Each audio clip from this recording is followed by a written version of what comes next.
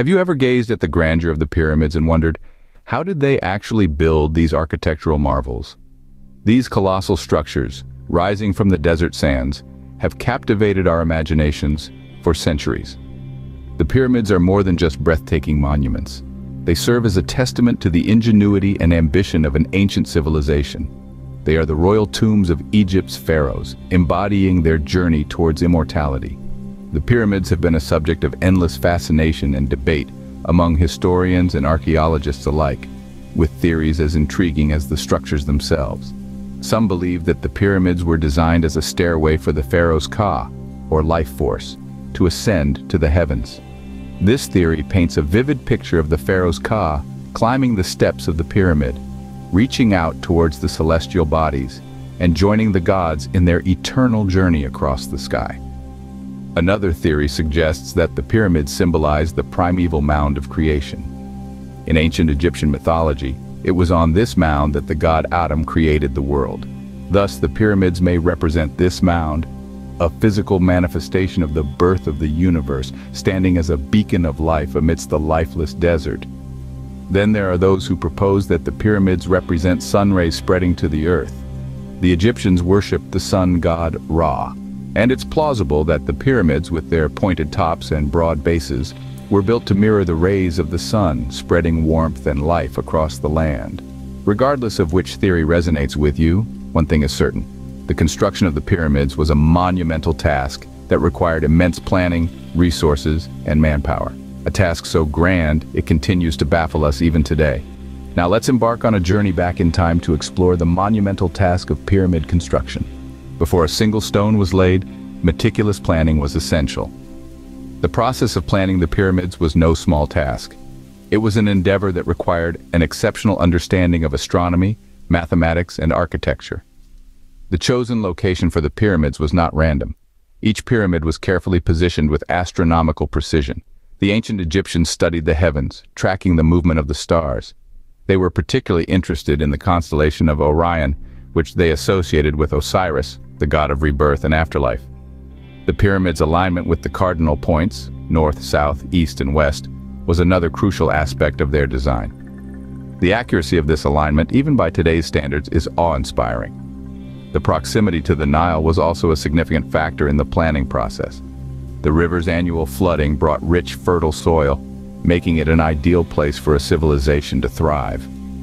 More importantly, the Nile served as a natural highway for transporting the massive stones used in the pyramid's construction. Once the location was selected, the design process began. This involved blueprinting the pyramid's dimensions. The architects of ancient Egypt did not have access to modern tools or technology. Yet they were able to calculate dimensions and angles with incredible accuracy.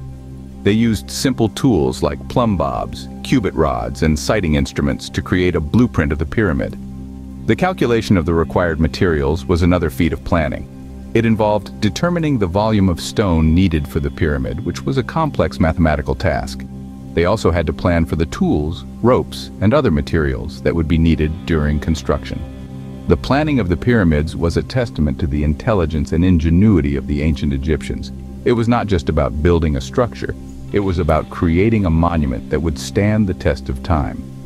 With the blueprint ready, the next phase was to gather the workforce and materials.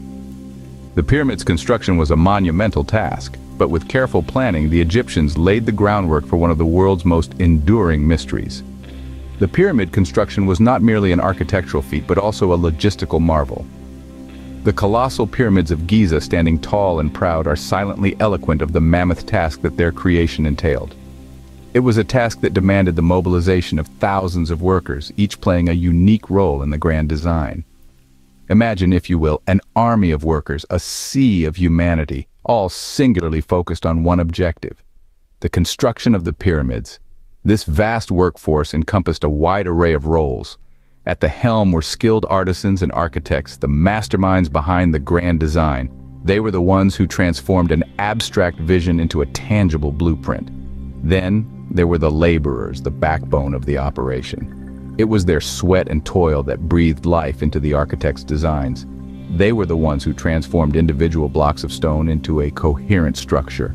And let's not forget the role of the overseers who ensured that everyone was pulling in the same direction, that every cog in the wheel was working as it should. Now, let's turn our attention to the materials.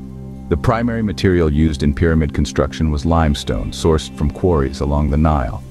The transportation of these massive limestone blocks was a feat in itself. Imagine, if you will, these enormous blocks, each weighing several tons being transported across miles of challenging terrain. It's a testament to the ingenuity and resourcefulness of the ancient Egyptians that they were able to overcome such daunting challenges.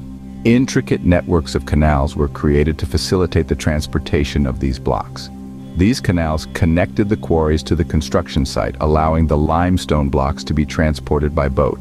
This ingenious solution not only expedited the transportation process, but also minimized the physical strain on the workers. With the workforce and materials in place, the actual construction could commence. The stage was set for one of the greatest architectural feats in human history, a feat that would leave an indelible mark on the annals of time. The actual construction of the pyramids was a task of immense proportions.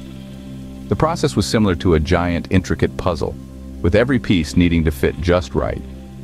The primary tools in the ancient Egyptians' arsenal were likely ramps, sledges, and levers. Ramps, made from mud, stone, and wood, provided the means to haul the colossal stone blocks up to their required height. These ramps are believed to have been either straight, zigzagged, or spiraled around the pyramid, depending on the architectural needs of the time. Next, enter the sledges. Imagine large wooden sleds, upon which the hefty stone blocks were placed. Teams of workers would then pull these sledges up the ramps. It's believed that water was used to wet the sand, reducing friction and making the heavy hauling somewhat easier. It's a testament to the ingenuity of the ancient Egyptians that they could move such massive weights with such rudimentary technology. The levers, another essential tool, were probably used for the final positioning of the blocks. These levers would have allowed the workers to make minute adjustments to ensure that each block fit perfectly with its neighbors. The precision required here was staggering. The blocks had to be aligned correctly, not just for aesthetic reasons, but also to ensure the stability of the entire structure. But what about the blocks themselves? They were cut and shaped with copper tools, a feat that still baffles many today. The stones had to be quarried, then shaped into the precise dimensions required for each specific location in the pyramid. This required not only physical strength, but also an in-depth understanding of geometry and design. The construction of the pyramids was not a quick process. It took years, even decades of relentless toil. But the result? An architectural marvel that has stood the test of time, a testament to human ingenuity and determination. After years of relentless toil, the pyramid would finally stand complete. The completion of the pyramids marked a pinnacle in ancient engineering. These stunning structures, once considered the most ambitious projects of their time, were not simply erected overnight. The final stages involved meticulous precision and an attention to detail that is staggering even by today's standards. One of the final steps in the pyramid's construction was the installation of the outer casing. This process involved the careful placement of polished limestone blocks, each precisely cut to ensure a snug fit. This casing wasn't merely decorative, it served a practical purpose as well. It helped to protect the inner structure from the harsh desert elements, ensuring the pyramid's longevity. And then came the crowning glory, the installation of the capstone. This was often gilded or covered in precious metals, reflecting the sun's rays and making the pyramid gleam from miles away. A symbol of the sun god Ra, it served as a beacon, a celestial guide for the pharaoh's Ka, his spiritual double, on its journey to the afterlife. But these pyramids weren't just grand tombs. They were also a testament to the beliefs and culture of the ancient Egyptians. Some theories suggest these pyramids may symbolize the ancient mound of creation or represent sun rays spreading to the earth. They were a stairway to the heavens, a link between the mortal realm and the divine. And here we are, thousands of years later, still marveling at these magnificent structures. They continue to puzzle and intrigue us. Their construction techniques and their true purpose still subjects of debate among historians and archaeologists. From their precise alignment with the stars to the intricate interior chambers, every detail of these pyramids speaks of an advanced civilization, of people who valued precision, who revered their gods, and who believed in life after death. The pyramids, standing as a testament to human ingenuity, continue to captivate us with their mystery and grandeur.